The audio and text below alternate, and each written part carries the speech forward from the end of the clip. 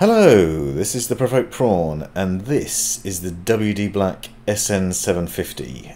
Here you can see the glorious SN750 with heatsink installed. I have two of them installed on the MSI Meg Creation X299 motherboard, which I'll be doing a video on shortly if you're interested.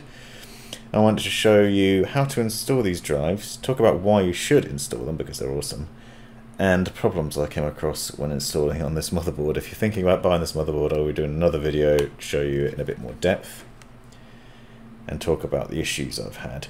Now, a highlight to this motherboard is the fact that it has three slots for NVMe drives on it, and if you don't know what to do with that, I have done a video previously on how to install them, and then how to install them if you don't have spare slots on your motherboard you can use a PCIe adapter, which is really cool. So this is the SN750, this is what it looks like.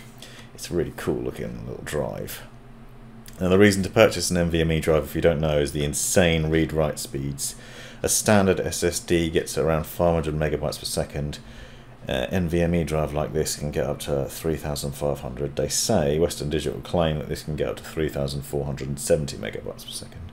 It also has the EWK water block heatsink on it. It's designed by those guys, and it is a beast. It looks fantastic. I'm sure you agree. The first problem I hit though is the heatsink shields that come on the motherboard now won't fit. Because these drives are a bit chunkier than your standard NVMe drive, which you'll see later on I uh, show you how else to install NVMe drives. Another highlight to this motherboard is that it comes with a PCIe capable adapter which allows you to install four extra drives, right? If you buy this motherboard you can have seven NVMe drives in your system which is insane. I'll show you the installation process from another angle. You can see you've got one already installed. They basically plug into the NVMe M2 slot on your motherboard and then you just need to screw them down with the correct screw. They're really easy to do and they're well worth having. There are arguments as to why you should use them. I would say I enjoy having Windows on these drives because it boots really quickly. It also means programs that I use are load much faster and it's much more capable. You can also, if you have multiple drives, have room for games, so you can load games a lot more quickly, and it is insane the difference these make. So this is the M2 expander drive that I was talking about. It plugs into straight into your motherboard into the PCIe slot, and it can hold up to four drives, which is nuts. It also has a built-in cooling system, and it requires a little bit of power from your power supply unit. As you can see, you got a six-pin adapter there is relatively easy to install, especially if you're in the process of just setting up. So this is a fresh build I've been doing, which I'm uploading some more videos on soon, and that's the reason why my channel's been a bit quiet lately. And here you can see these are standard NVMe drives. So the uh, Samsung Evo 970 is the one I've done a video on before, and the Intel Optane drive. Those both fit nicely in here.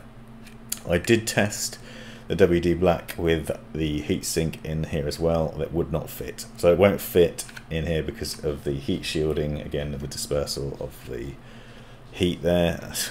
so it won't fit on the motherboard without uh, with the shield on it and it won't fit in here either. So if you're considering buying and you want to keep those shields in place and keep the look and feel of your motherboard, then you might want to opt for the WD Black SN750 without the heat sinks because that will fit. As you can see there, at the bottom of this M2 expander, I've actually put another one. So I have two with heat sinks and two without. And I must admit, I do prefer the look and feel of the ones with the heat sinks. They look really swish.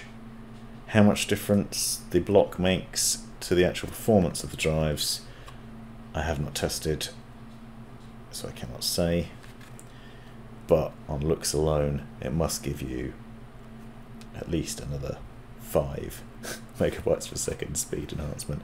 I don't know, it just looks fantastic and that's the reason on its own to purchase it, especially if you have a tempered glass case where you can see into the machine and get a view of your motherboard and see them in all their glory. Now here you can see the M2 adapter installed. Another thing I was doing with this build is installing the graphics card vertically with an adapter from Corsair. Unfortunately, it isn't possible because the M2 expander is quite wide, so that is another thing to bear in mind. As I said, I'll be doing a video on the motherboard and the case and everything else, so please be sure to check my channel if you're interested in that. But here you can see, without the expander, what that vertical GPU mount looks like, and what the WD Black looks like installed in the background. I think it looks pretty awesome installed like that. The heatsink looks really brilliant and a close-up view of the finished product although not entirely finished because the cables still need tidying and I'm having some problems with the LED light strips. Hope you've enjoyed this video. This has been the Provoked Prawn. Please like, subscribe and come back for more in future. Thanks for watching.